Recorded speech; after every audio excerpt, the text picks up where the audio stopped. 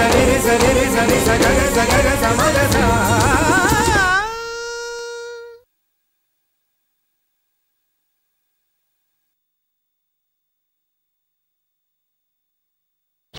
இந்தா ரெண்டு லட்சம் ரூபா இருக்கு. எண்ணி பார்க்க வேண்டாம் நம்பு என்ன? எத்தனை வாட்டி வாங்கியிருக்க? போ.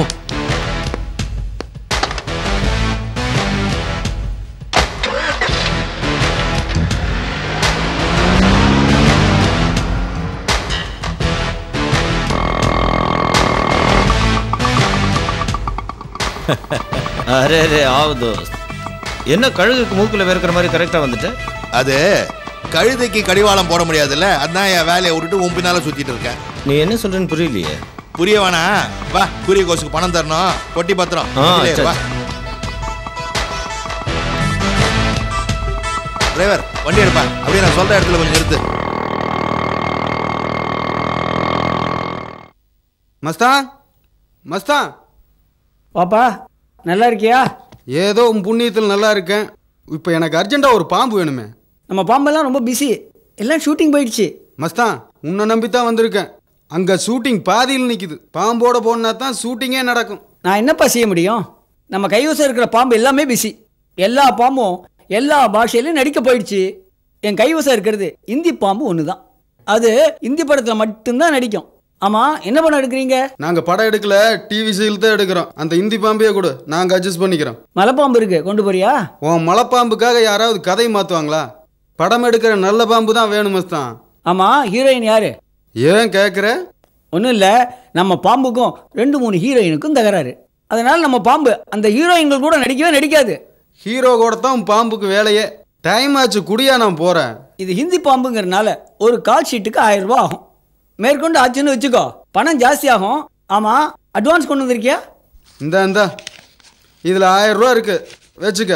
மீதி கணக்கு பார்த்து அப்புறம் தர்றேன் ஏம்பா பாம்பை நீயே எடுத்துகிட்டு போறியா? என்னை நம்பி குடும்பஸ்தான் உன் பாம்புக்கு ஒன்றும் ஆகாது. இந்த காலத்தில் பாம்பை நம்பலாம். மனுஷன் நம்பவே முடியாது. நீ தெரிஞ்சாலும் உன்னை நம்பி கொடுக்குறேன். போய் கொண்டு வா போ. ஏம்பா பொட்டியில் ஓட்டியே இல்லையே? பாம்பு செத்து போயிடாது? இதெல்லாம் ஒன்றும் ஆகாது மஸ்தான் இங்கே பாரு இங்கெல்லாம் கேப் இருக்கு. காற்று தாராளமாக வந்து போகும். இது வரைக்கும் நம்ம பாம்பு ஆ. இந்தி ஹீரோயின் கூட தான் நடிச்சிருக்கு. ஐஸ்கிரீம் நிறைய சாப்பிடும். அப்பப்போ கூட. என்ன? எங்களுக்கு தெரியும் மஸ்தான் சினிமா ஷூட்டிங்னால உன் பாம்பு ஐஸ்கிரீம் சாப்பிடு. நீயும் ஃபைவ் ஸ்டார் ஹோட்டலில் தான் டிஃபன் சாப்பிடுவ. நீயே கொண்டு போற. பார்த்து பத்திரமா கொண்டு போ. ஆ?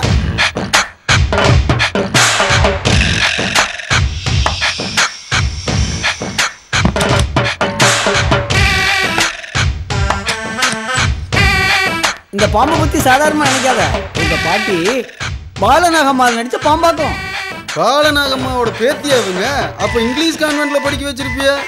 சரி நேரமாச்சு நான் வர்றேன். இந்த பாருப்பா பாம்பு பத்திரம். நான் பார்த்துக்கிறேன் மஸ்தான் தோஸ்த் டீ எப்படி இருக்கு? ஆ சூப்பர் தோஸ்த். இந்த மாதிரி ஒரு டீயை நீ மும்பையில் கூட சாப்பிட்ருக்க மாட்டியே? இந்த கடைக்கு நான் ரெகுலர் கஸ்டமர் அரே கியா தோஸ்த்? நீ எல்லா இடத்துக்கும் தான் ரெகுலர் கஸ்டமர் வேற என்ன வேலை? எது எது எங்கெங்க எப்படி இருக்குன்னு தெரிஞ்சு வச்சுக்கிறது தானே? இதோ பார் நீ நம்பில்கி ஐ எம் சாரி என்னுடைய ஜிகிரி தோஸ்த் தானே? அரே கியா தோஸ்த்? ஏன் இந்த மாதிரி கேட்குற அதில் உனக்கு என்ன சந்தேகம்? நீ என்கிட்ட உண்மையா பழகுறியா? இப்போ உனக்கு என்ன வேணும்? என் உயிர் வேணுமா? சொல்லு உடனே தர்றேன். ஆ சும்மா சொல்றப்பா நீ. நீ உன் மனசுக்குள்ள ஒரு ரகசியத்தை போட்டு அமுக்கி வச்சிருக்கிற. அதை மறைக்காம ரிலீஸ் பண்ணு. ரகசியமா? அதெல்லாம் ஒன்றும் இல்லையேப்பா. நான் உங்ககிட்ட எதையுமே மறைக்கலையே. மறைக்கிறப்பா. நீ அந்த பிரபாகரனை பிராக்கெட் போடும் போதெல்லாம் அவன் லம்ப் லம்பா எடுத்து கேஷ் தரானே. அதுக்கு காரணம் என்ன? இதுதான் பெரிய ரகசியம் நீயா சோட்டா விஷயம். உங்ககிட்ட சொல்லாமல் இருப்பேனா? சொல்கிறேன் உட்கார்ந்து பேசுவோமா? ரொம்ப இன்ட்ரெஸ்டிங்கான விஷயமா? சொல்கிறேன் லேக்கின் அபிநய் அப்புறமா சொல்கிறேன் பாத்தியா? தமிழ்ல இந்தியிலும் சேர்த்து கவுத்துட்டியே. எப்பா சில்லற கொடு. என்னையா காசே கொடுக்கல சில்லறை கேட்குற யோ இப்பதானே ரூபா கொடுத்தேன் இல்லைன்ற. எப்பயா கொடுத்த? காசு கொடுத்துட்டு போயா? ஐம்பது ரூபா நோட்டு முழு நோட்டு கொடுத்துருக்க எடியா சில்லற? வாங்கலையா? காசு அடியா எப்பா பார்த்தாலும் உங்ககிட்ட இதே பிரச்சனை இருக்கியா வாங்கி வச்சுட்டு இல்லை இல்லைன்ற. எடியா சில்லறையா? காசே கொடுக்கலையா? எப்படியா தரது எடியா சில்லறையா? கல்லாம் நல்லா தேடி பாரு ஐம்பது நோட்டு கொடுத்தேனா இல்லையா? அட எங்கே ஐம்பது ரூபா இருக்கு? நல்லா தேடி பாரு எனக்கு என்ன தெரியும்? நீ தானே வாங்கி போட்ட. இல்லையா நீ? எப்ப பார்த்தாலும் இதே பிரச்சனை பண்ணிட்டு இருக்க காசை வச்சுட்டு மறு வேலை பாரு. எத்தனை தடவை அவன்கிட்ட சொல்லிட்டே இருக்காரு? ஐம்பது ரூபா கொடுத்து எப்பயா நல்லா தேடி பாரியா? நான் உன்ன கொடுத்தையா? கொடுத்தையா உன்ட்ட ஐம்பது ரூபா? தேடி பாரியா நீ? எங்க? தேடி பாரியா? திருப்பி திருப்பி இதே பிரச்சனை தானயா போன தடவை வந்து ரூபாய் வாங்கிட்டு இல்லைன்னு சொன்னேன். தலையில போய் விட்டு போனேன். என்ன சார் தகராறு என்ன? இந்த ஆள் ஐம்பது ரூபா கொடுத்தாங்கிறான் அந்த ஆள் நான் வாங்கலைங்கிறான். பிச்சை காசு ஐம்பது ரூபாய்க்காக சண்டை போட்டுக்கிறானுங்க சரி சார் தகராறு ரசிச்சுட்டு பொட்டி விட்டுறாதீங்க. எவனாவது அச்சாலும் அச்சிட்டு போயிடுவான் ஆ? ஆ. இங்க பார். உங்ககிட்ட இருந்து எவனும் அடிக்க முடியாது. ராஜா தோஸ்த் வந்த வேலை முடிஞ்சது போலாமா? என்ன வேலை முடிஞ்சிருச்சு? அஹ், அதான் டீ சாப்பிடுற வேலை. அஹ், டீ சாப்பிட்றது ஒரு பெரிய வேலையா? ஆ? நீ இந்த ஒரு வேலை தான் ஒழுங்கா பண்றேன்னு நினைக்கிறேன். இன்னும் பல வேலை பண்ணுவேன். போ போ தெரிஞ்சுப்ப. அரே தோஸ்த் நம்ம பிரபாகர் பாய் இருக்காரு. நிறுத்து. நம்ம பிரபாகர் இல்ல உன் பிரபாகர். அச்சா ஏன் பிரபாகர்? அந்த ஆள் ரொம்ப நல்லவன் பா, பெரிய மனுஷன். ஜிந்தாஜி பிரபாகரன் பணக்காரன். பணக்காரன் நல்லவனா இருக்க முடியாது.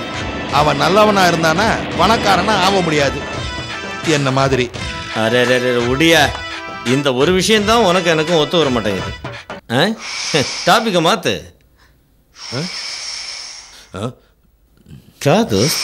ஏதோ உசு உசுன்னு சத்தம் வருது. அது ஒண்ணும் இல்ல. உஸ்ஸ வெயில் ஜாஸ்தியா இருக்கா. அரே தோஸ்த். நீ என் தோஸ்த் தானே? நான் ஒரு விஷயம் சொல்லுவேன்.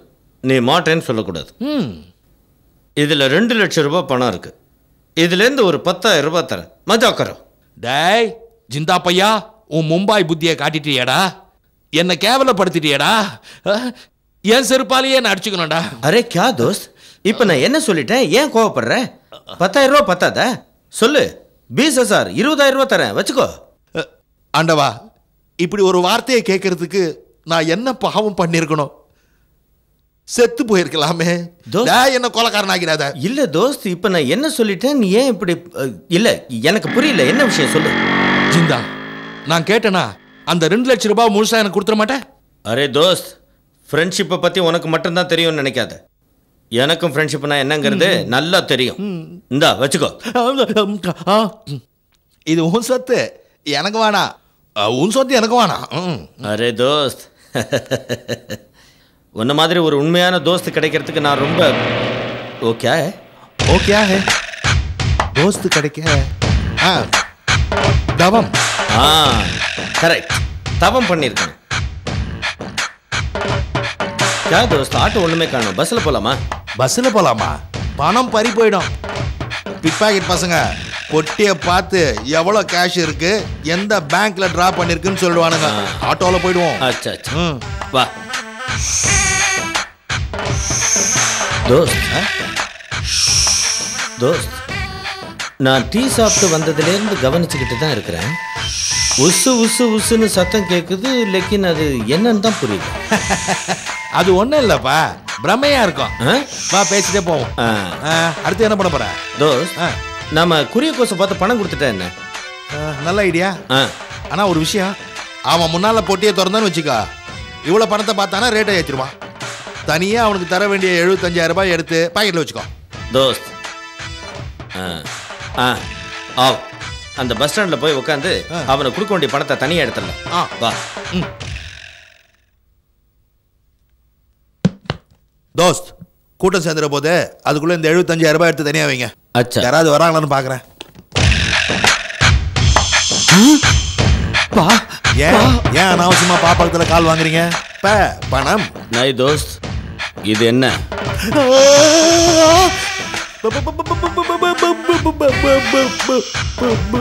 ஜிந்தா உன் ஜாதகம் நல்லா இருக்குதுப்பா. இல்லடா அந்த பாம்பு உன்னை கடிச்சிட்டு இருக்கோம். என்ன கடிச்சிருந்தா அது செத்துருக்கும். சதிகாரன் மோசக்காரன் சண்டாளன். யாரை திட்டுற? பிரபாகரன் அவனை பாரு. பணம்னு சொல்லி பெட்டியில பாம்பு வச்சு கொடுத்துருக்கான் உன்னை விட்னஸ் இல்லாம கொல்ல பார்த்திருக்கிறான். பிரபாகரா?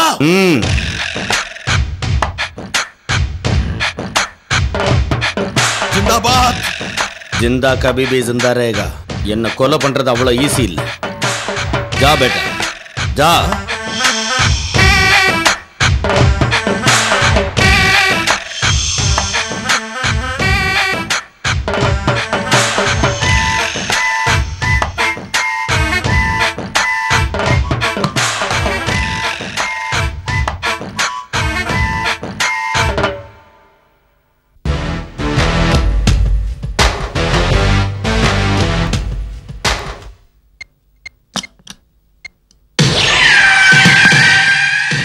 இங்க வந்த बैठो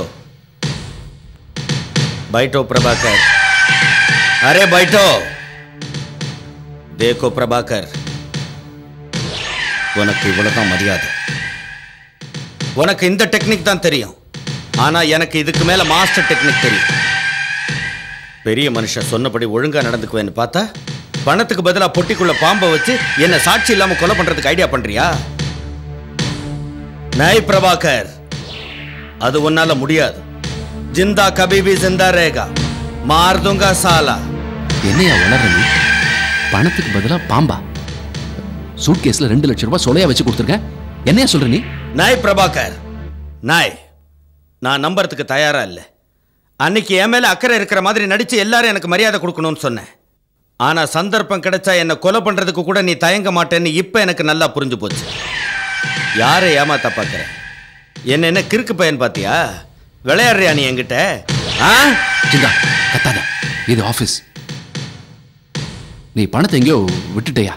ஏமாந்து போயிருக்க. அப்புறம் என்ன வந்து பாம்பை வச்சிருக்கேன் அதை வச்சிருக்கேன் ஏன் உயிர் எடுக்கிற? தேக்கோ பிரபாகர் பாய் என்ன திசை திருப்ப பார்க்குறியா ஆ? ஹ. மரியாதையா சொல்றேன் கேட்டுக்க. டூ டேஸ் டைம் அதுக்குள்ள எனக்கு அஞ்சு லட்சம் ரூபாய் பணம் வேணும். ஹாட் கேஷ்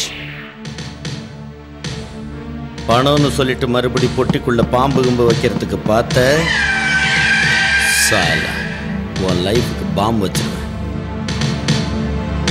ஜாக்கிரதை.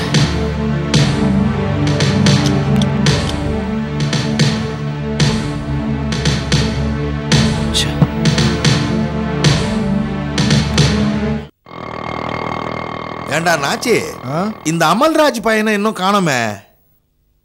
பணப்பொட்டி அவன் கையில தான்டா இருக்கு. ஏம்பா எனக்கு என்னமோ சந்தேகமா இருக்கு. வருவானா? ஏன்டா அப்படி சொல்ற? இல்ல பணம் கையில கிடைச்சதா எங்கேயோ போய் செட்டில் ஆயிட்டனோட பயமா இருக்கு. சேச்சே அமல்ராஜ் நல்லவன்டா. நானேஸ்தன் உன்ன மாதிரி குறுக்கு புத்திலாம் அவனுக்கு வராது. இந்த பார்க்குக்கு தானே வர சொல்லியிருக்க? கிளி பிள்ளைக்கு சொல்ற மாதிரி சொல்லியிருக்கிறேன். என்ன என்ன முட்டாள்னு நினைச்சியா? ஒரு இடத்துக்கு வர சொல்லிட்டு இன்னொரு இடத்துல உட்காந்து தேவடு காக்கிறதுக்கு. அண்ணே. வா ராஜா வா. உட்காரு. என் வயித்துல பாலை வாத்த. இல்லாட்டா பாஷாணத்தை தான் குடிச்சிருக்கணும். பணத்தோட ஓடி போயிருன்னு நினைச்சியா? அந்த அற்பு புத்தி எனக்கு இல்ல. நியாயமே இல்லாத வேலையை செஞ்சாலும் நேர்மையா செய்யணும். அதுதான் நான். ஆ உன்னை பத்தி எனக்கு தெரியாதா? இந்த நாச்சி பையன் தான் சந்தேகப்பட்டான். ஏன்னா பணம்னா பணம் கூட வாய பழக்கம். அந்த பொட்டியை கொடு.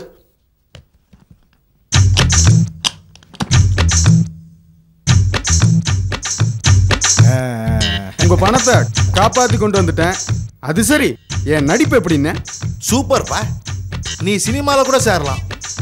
அதுக்கான உடல் அமைப்பு முகவெட்டு எல்லாம் இருக்கு. பிச்சு உதறிட்டேன். பார்த்து போட்டு கொடுன்னு பாராட்டுறதோட நிறுத்திடாத. போடுறேன். நான் போட்டு கொடுக்கறத உன்னால சுமக்கவே முடியாது. என்ன இருந்தாலும் உனக்கு தாராள மனசுன்னு. போகும்போது பஸ்ஸில் போகாதடா. ஆட்டோல போன்னு ஆட்டோ சார்ஜ் ஐம்பது ரூபா கொடுக்குற பாரு. நீ நல்லா இருக்கன்னு. ரொம்ப தேங்க்ஸ்ப்பா ரொம்ப உணர்ச்சி வசப்படாத.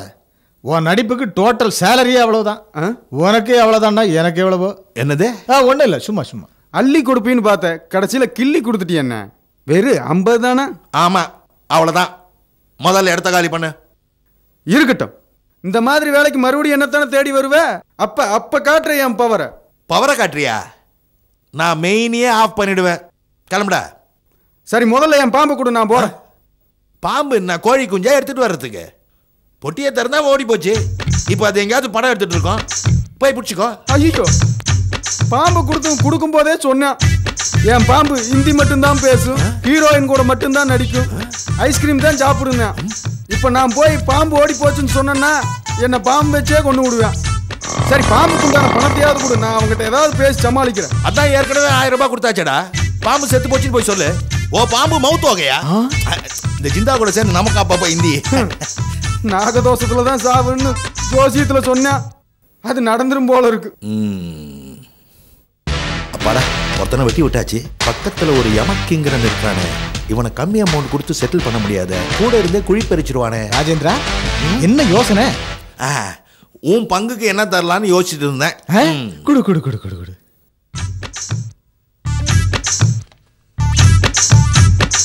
ஐம்பதாயிரம் ரூபாய். வெறும் ஐம்பதாயிரம் தானா? என்னது? வெறும் ஐம்பதாயிரம் ரூபாவா? திட்டம் போட்டது நானு. அதை தில்லா செஞ்சு முடிச்சது நானு. நீ வெறும் வேடிக்கை பார்த்துட்டு இருந்தவன் தான். எரிச்சல் கலப்பாதியா? இது போதும் கிளம்பு.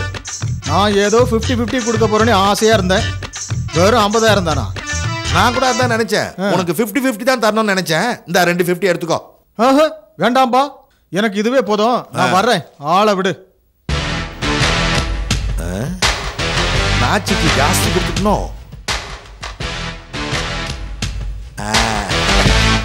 நம்ம பணம். எனக்கு ஒரு சப்பாத்தி வேணும். சரிம்மா மணி போட்டுட்டு இருக்காரு எனக்கு இன்னொன்னு வேணும். கொண்டு வருவார் சாப்பிடுங்க. எனக்கும் இன்னொன்று வேணுமா? எனக்கு தான் ஃபர்ஸ்ட் வேணும். எனக்கு தான் ஃபர்ஸ்ட் வேணும். எனக்கு தான் வேணும். எனக்கு தான். சாப்பிட்ற நேரத்தில் சண்டை போட்டுட்டு கொடுப்பாங்க இரு. நமஸ்தே பெரியவர். நமஸ்தே நமஸ்தே. டேபிள் டிஃபன் எடுத்து வைக்க கூடாது உடனே மூக்கு வேர்த்து வந்து நிப்பிய.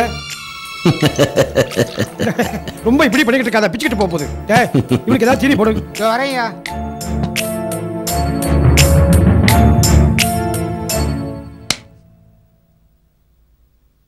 போதும்டா டே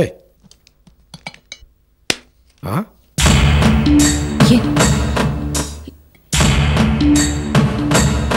என்ன இது உங்களுக்கு வச்சது சாப்பிடாம பசங்க சாப்பிட்டுட்டு இருக்கும்போது அதை எடுத்து சாப்பிடுறீங்க? எனக்கு பசங்க சாப்பிட்ட சப்பாத்தி தான் வேணும். இந்த பாடுறா சப்பாத்தி எல்லாருக்கும் பொதுவாக தான் மணி இருக்கு அதுலேருந்து எடுத்து சாப்பிடாம ஏன் குழந்தைங்க எடுத்து சாப்பிட்ற? எனக்கு பசங்க சாப்பிட்ட சப்பாத்தி தான் வேணும். இது திருப்பி திருப்பி அதை தான் சொல்லுவியா? இங்க இருக்கிறத சாப்பிட மாட்டேன். தாத்தா இந்த ஆள் எப்பவுமே இப்படித்தான் தாத்தா. என் சப்பாத்தி எனக்கு தா. தாத்தா சப்பாத்தி மட்டும் இல்லை எங்களுக்கு வச்சு இந்த ஐஸ்கிரீம்லாம் எடுத்து சாப்பிட்றா தாத்தா. ஏன்பா இவ்வளவு செஞ்சு வச்சிருக்காங்கல்ல அதை சாப்பிடாம ஏன் பசங்க சாப்பிட்றத கேட்குற நீ? பெரியவரே கோச்சுக்காதீங்க அட்ஜஸ்ட் பண்ணுங்க. இனிமேல் எனக்காக எது செஞ்சாலும் முதல்ல நாய் பூனைக்கு வச்சுட்டு அதுக்கப்புறம் தான் நான் சாப்பிடுவேன். ஏன் தெரியுமா? ஏன்டா? ஜிந்தா எதை கேட்டாலும் செஞ்சு கொடுன்னு உங்க பையன் பிரபாகரன் சொல்றாரு. அதெல்லாம் வெறும் பாவலா? மனசாட்சி இல்லாம அப்படி பேசாத. உங்க பையன் என்னை கொலை பண்றதுக்கு திட்டம் போட்டார். சாப்பாட்டில் விஷம் வச்சு என்னை கொன்னாலும் கொன்னுடுவார். அதுக்கு இந்த கரண்டியும் ஹெல்ப் பண்ணலாம்.